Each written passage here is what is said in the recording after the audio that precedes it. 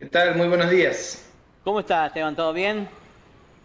Bien, bien, acá en un año que ya empezó el 18 de enero con el terremoto y trabajando activamente. Bueno, sí, la verdad que uno nunca descansa, ¿no? Bueno, pero todo sea por el, por el bien común y por el bienestar de los trabajadores y de las trabajadoras. Bueno, Esteban, sin duda la pregunta del millón tiene que ver con qué va a pasar con el tema de las paritarias con ustedes, justamente el personal docente. Bueno, hoy en paritarias tenemos dos ejes muy claros de trabajo, uno que viene desde hace varios años ya, que es la implementación del convenio colectivo de trabajo docente nacional en San Juan, en la Universidad de San Juan. Hemos regularizado por paritarias a más de mil docentes y todavía queda analizar unos 200 a 300 casos eh, que se van a estar estudiando y analizando en la paritaria hasta mediados de abril y vamos de esta manera a dar conclusiones, esperamos, a un proceso histórico en la Universidad de San Juan, que es justamente la posibilidad de que trabajadores y trabajadoras docentes, luego de más de cinco años de estar en situación de interinato, por lo menos cinco años, hay quienes están desde hace muchísimo más tiempo, puedan alcanzar la estabilidad en sus cargos y también todos los derechos políticos. Así que ese es un eje de trabajo que, como digo, nos viene eh, abocando desde hace muchos años ya y estamos muy contentos y contentas de poder dar ya una primera, un primer resultado. Y el otro tema fundamental, por supuesto, tiene que ver con el estado de los edificios después del terremoto, con la situación COVID que sigue estando presente y ha sido parte ya de todo el debate el año pasado donde se han eh, confeccionado varios protocolos de exámenes virtuales, de, trabajo no presencial. Ahora estamos avanzando con la sanción de los protocolos de semipresencialidad y estamos pautando desde los gremios y puntualmente desde el Frente Gremial Universitario, que se constituyó el año pasado y que reúne a los cuatro gremios universitarios, estamos planteando algunas condiciones muy claras para un retorno a la actividad presencial, que tiene que ver básicamente con el estado de los edificios, la habitabilidad y el cumplimiento de estos protocolos Eso es lo que te quería preguntar, Esteban. ¿Cómo, cómo están, cómo han quedado los edificios universitarios después de este terremoto del pasado 18? ¿Ha hecho mucho daño? ¿Necesitan refacciones importantes? o con poco dinero, digamos, no con poco dinero, pero eh, se puede llegar a completar lo, que ha sufrido? Eh, por ahora nosotros estamos receptando los informes de la universidad que nos lo está enviando el rector esta misma semana, los estamos empezando a ver, estamos organizándonos también para hacer auditorías desde los gremios.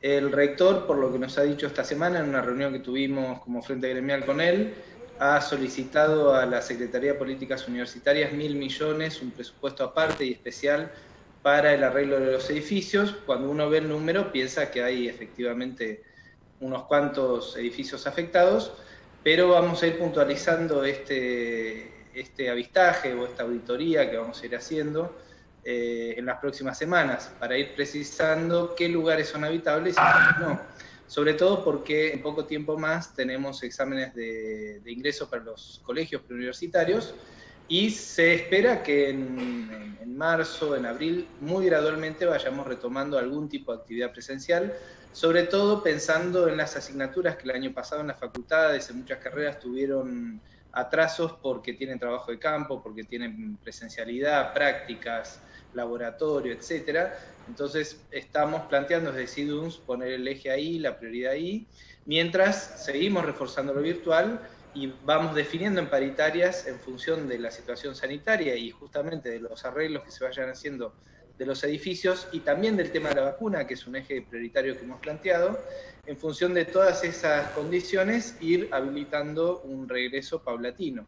Eh, por el momento no le puedo decir a, ciencia cierta dónde se han producido los daños, pero sabemos que en algunas facultades grandes como Ingeniería y Filosofía habría una serie de daños importantes, hay que evaluarlos y sobre todo poder discriminar qué espacio físico se puede usar y cuál no. Este informe que van a realizar justamente los especialistas en el estado de las condiciones que han quedado los edificios va a depender pura y exclusivamente para recibir ese dinero que pidió el sector. Eh, ¿Ustedes creen que puede haber alguna respuesta favorable, que seguramente esa plata pueda llegar y pueda entrar justamente a refaccionarse los edificios?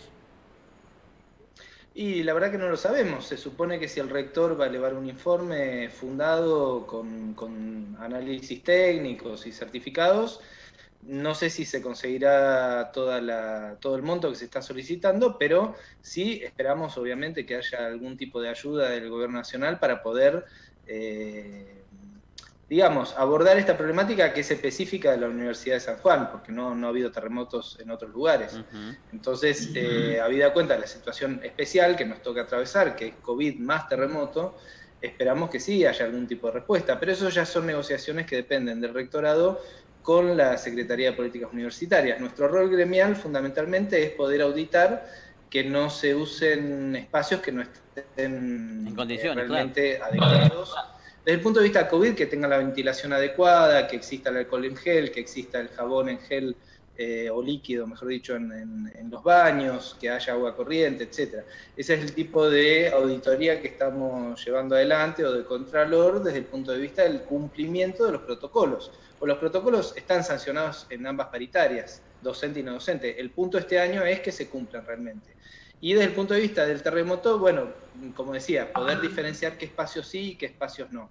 Con respecto a la vacuna, sí tenemos novedades. Ayer hubo una reunión del secretario de Políticas Universitarias, no, perdón, del propio ministro eh, de Educación con el SIN, que es el Consejo de las Universidades o de los Rectores, y aparentemente eh, vamos a tener eh, prioridad los docentes y los no docentes de las universidades nacionales para la asignación de la vacuna, o por lo menos vamos a estar contemplados dentro de eh, la previsión de la vacunación nacional. Eso es una buena noticia porque es uno de los reclamos que inmediatamente planteamos desde SIDUNS y del Frente Gremial, que se tenga en cuenta a docentes y no docentes de las universidades para el plan de vacunación nacional.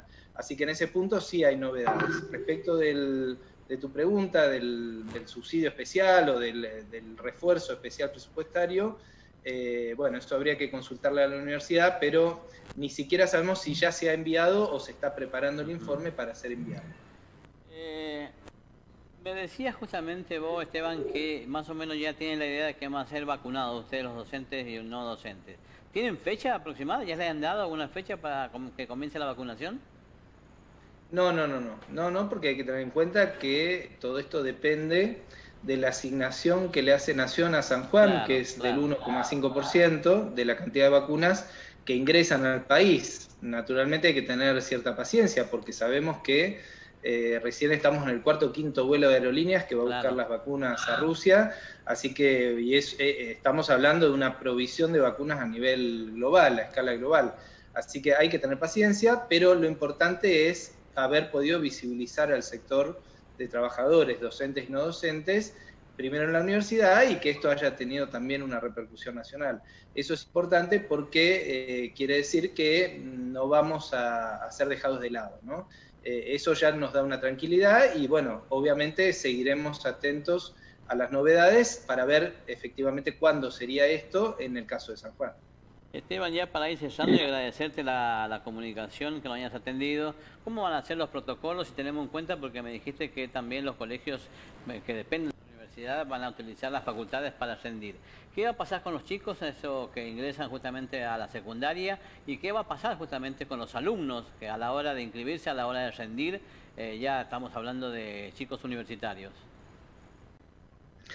Bueno, en ese punto hay que decir que nuestra universidad quizás está con algunas indefiniciones todavía, por eso nosotros en paritarias insistentemente le estamos demandando a las autoridades que definan cómo va a ser ese proceso de retorno para poder discutirlo y regularlo justamente, ¿no?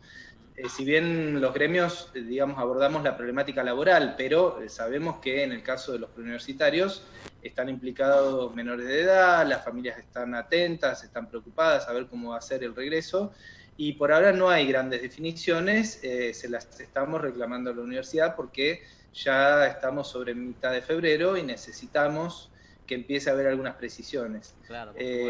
recién hoy se están revisando los edificios para el examen de ingreso, pero no se ha podido hablar demasiado, por lo menos no hemos tenido mucha información, respecto de cómo los directores de los colegios están pensando ese retorno a la presencialidad. De por sí hay que, hay que digamos, tener en cuenta que el 30% de las salas o de las aulas se pueden ocupar por el distanciamiento. Entonces esto va a implicar una estrategia de presencialidad específica. Eh, por eso le estamos pidiendo a la universidad y concretamente a los colegios que nos acerquen una propuesta para que podamos discutirla en paritarias y resolver lo que hace a la paritaria, que es la, cuestión de las garantías eh, laborales, ¿no? desde el punto de vista paritario y la regulación de las condiciones de trabajo. Ahora, obviamente esta información es de interés público porque tiene que ver justamente con cómo van a volver los preuniversitarios de la universidad, que sabemos que son tres colegios. Así que bueno, cuando haya novedades también se las podemos comentar. Bueno, muy bien, muchísimas gracias, Esteban Brigadito, justamente por brindarnos esta información que tiene que ver justamente con la educación en la provincia de San Juan, tanto a nivel universitario. Bueno, muchas gracias a ustedes, ¿eh? a disposición. Es lo que vengo repitiendo prácticamente casi a diario, todavía no hay, digamos, cómo va a ser los protocolos para la vuelta a clase en forma presencial, no solamente de los chicos de nivel primario, secundario, sino también, sino también tienen la gran pregunta los estudiantes universitarios y los mismos profesores y no, y no docentes de las distintas facultades de la provincia de San Juan.